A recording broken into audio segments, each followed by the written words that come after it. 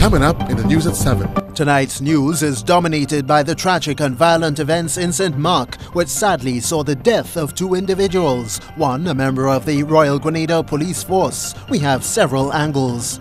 Plus, the Public Workers Union responds to charges of a lack of alacrity on an outsourcing issue affecting some employees of the Ministry of Education. And on the lighter, brighter side, you'll get to meet Mamie, Grenada's birthday greetings lady.